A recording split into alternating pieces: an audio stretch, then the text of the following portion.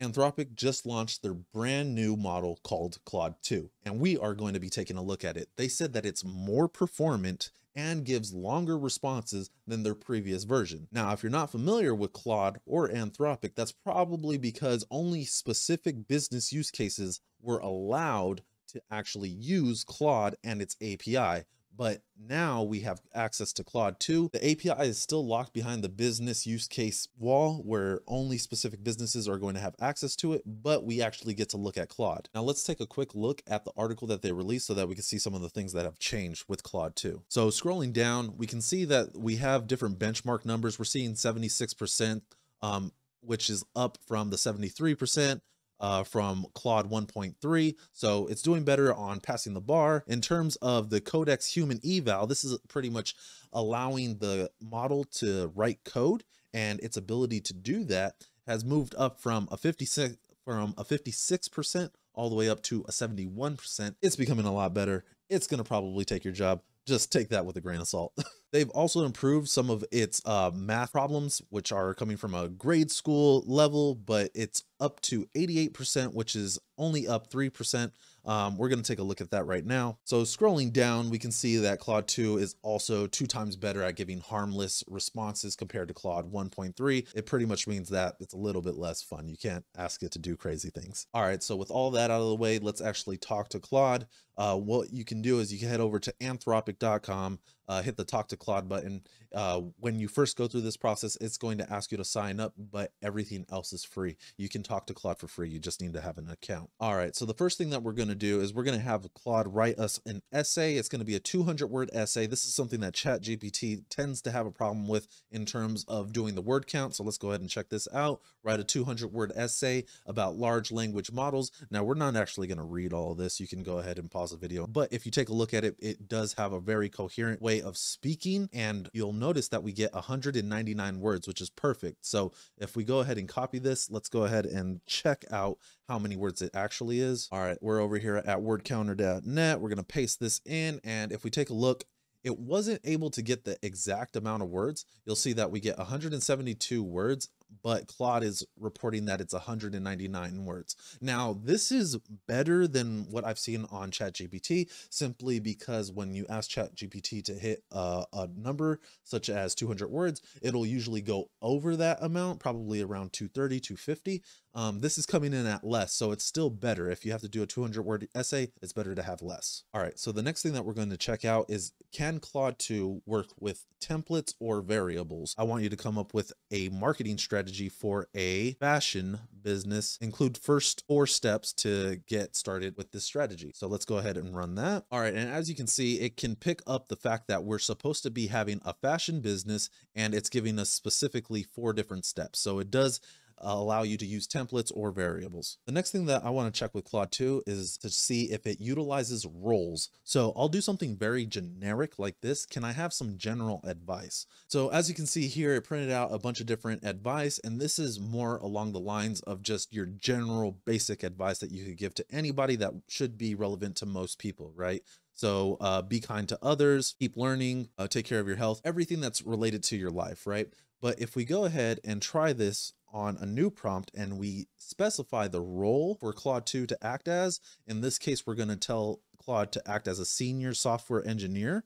Can I have some general advice? This shouldn't be about your general life. It should be from the standpoint of a developer. I know that I'm speaking to a developer and I should be getting back some information about becoming an, a software engineer. So we can see that um, right here, we're getting things back like focus on writing clean, readable, maintainable code, don't reinvent the wheel, things like that. So you can you can see that roles actually do play a part when working with Claude. Now in the blog, it specified that Claude 2 does a lot better than Claude 1.3 in terms of working with grade school level math. So what we'll do is we'll paste in here uh, the equation that has actually broken the internet a couple of times. This is 6 divided by 2. Um, and then in parens, we have 1 plus 2. And what's the answer? Now, what it's doing is it's using the order of operation to try to break this down. It's doing 1 plus 2, and then that's going to be 3. So you do 2 times 3, that's 6, 6 divided by 6. This is actually incorrect. I have seen ChatGPT also get this wrong, but essentially what you want to do is once you get this three right here, the one plus two equals three, then you have to go from left to right. If you follow order of operations, this is just the way that it is. So it actually failed this, this question. Um, the answer is not one, it's actually nine. Now, next up, I have a math problem. This is more of a riddle than it is a math problem, and we wanna see if Claude can actually decipher the fact that it is a riddle as opposed to a math problem. So we see that one plus four equals five, that's correct. Two plus five is obviously seven, but we see that the answer is 12, right?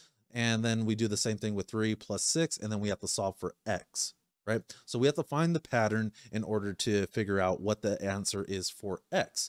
Now we can see that we're doing uh, 1 plus 4 equals 5, 2 plus 5 equals 12, and it's reiterating back what we already have, but it's it's trying to figure out x, and we're trying to see the pattern, and it, it comes up with 8 plus 11 is 19, which is correct mathematically, but is not correct when you follow the pattern. Now, one, there's two different ways to follow this pattern. So there's two different answers. The one that I like to remember is one plus four equals five.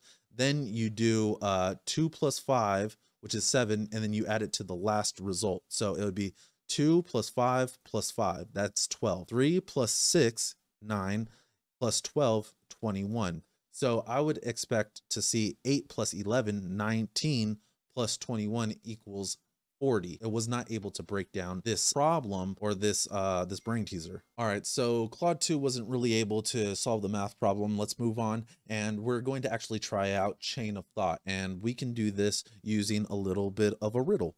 So the riddle is going to be in 1990, a person is 15 years old. In 1995, that same person is 10 years old.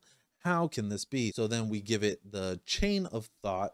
Uh, we're asking it to look over this brain teaser and solve it step by step. That's kind of the the chain of thought way of going about it. Now you can see that it's trying to reason that this is contradictory, this can't happen. Simple explanation is that is being measured using different systems um, in the two years. So you can see that it's coming up with some kind of reasoning. Um, 10 years from the year 2000, though uh, five years older than normal aging. Um, it's it's using 2000 as a reference point um, but it's not actually coming up with the right answer, which is we're counting in um, BC, not AD.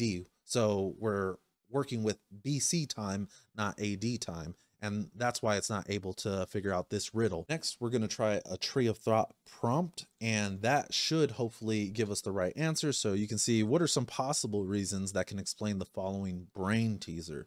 Now we can see that we get a lot of different answers. Person's birthday is on uh, February 29th. Uh, the numbers are mistakenly reversed. Uh, it's a trick question. Uh, the person is traveling near the speed of light, some sort of magic or supernatural effect, medical condition, some Benjamin Button, I don't know um, fictional world and the person is just straight up lying. So again, we're working in uh, AD, not BC, or we're working in BC time, not AD time. Um, let's go ahead and go a step further.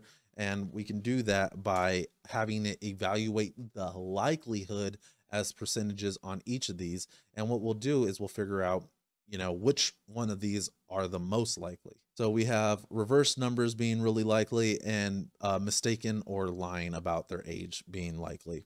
Now, if we were to continue this um, tree of thought, what we're going to do is we're going to take the top three results of what they've given us so far, come up with two more results that are more likely than the highest result that we've been given so far and that's going to uh, give us some more answers. Now we've got cloning, which is a 40% likelihood. So cloning is more likely than them being mistaken or lying about it. And then age transformation. So you can continue to go through this process. I went through this process once before. It wasn't able to figure it out. Eventually it will just give up. All right, we're coming down to the last few tests that we're to run on Claude 2. And what I want it to do now is create a to-do app.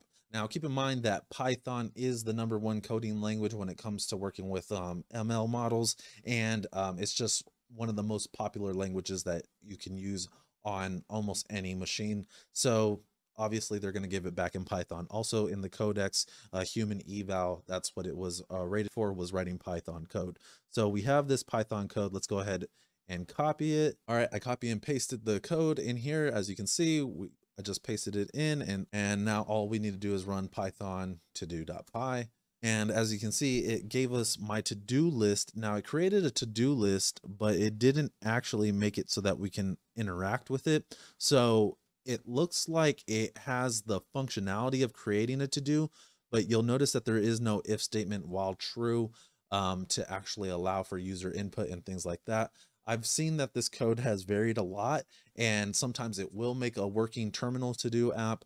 Um, other times it won't. All right. So we saw it give us uh, an attempt of making a to do app with Python. Um, I have even less expectations for it to be able to do the same thing, but for iOS, I come from a mobile background, so I'm going to do it in iOS, but you can just assume that this is going to be with any um, you know mobile development uh, platform. If it wasn't able to do it in python it's going to have an even harder time uh, doing it in any other language that isn't python including javascript. I've tried it doesn't work that well. You'll notice that it does get a lot of the boilerplate set up in here for anybody that's familiar with ios code um, but it doesn't have any functionality. It does tend to give a lot of functions, but not the implementation of those functions. So it doesn't do well, but it is able to, you know, generate some of the boilerplate code that you might need to get up and running for, for something like an, a to-do app for iOS. All right, so the last test is where Claude really excels, and it's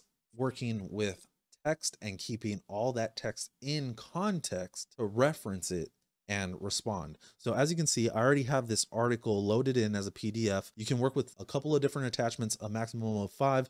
They can be a maximum of, of 10 megabytes each. Those are relatively large uh, files, and you can see that it accepts PDF, text, and CSV files. You can't work with images right now, so just keep that in mind. This is the paper. You'll see it's called Large Language Models as General Pattern Machines. So what we're going to do is we're going to ask Claude, what are the key points of this paper? And it's going to take a couple of seconds to go through all of the information from the paper and then it's going to spit out the different key points. All right. And it just spit out all the key points that it can, that it wanted to cover. So it's talking about LLMs like GPT-3 exhibited ability to uh, work with complex token sequences and uh, abstract patterns. Now it's essentially just talking about patterns and being able to say like, oh, it can, it can work with patterns really well. And the way that I want to be able to understand that, uh, explain like I'm five. Big AI models that are trained to understand language can also learn to complete patterns with any type of symbols, not just words, and solving them kind of like puzzles and shapes. And then it goes through and it it gives an explanation that's a little bit easier to digest. So that's all I really wanted to show you in terms of Claude 2. It's a really amazing model, and this is really where it shines was this last example is providing it with a large amount of text and what Claude 2 is able to do is it's able to use that 100,000 token limit and keep a lot of your text in context. So if you're having long conversations with Claude, it will remember almost everything. If you give it a whole entire book, um, that it can, you know, that can fit into its context window, then you can ask questions without it missing out on anything. And this eliminates the needs for needs for things like vector da databases. So that is where Claude 2 really shines. Let me know what you're using Claude 2 for. Do you prefer Claude 2? Do you prefer Chat GPT? Do you prefer something else? Let me know in the comments below. Later.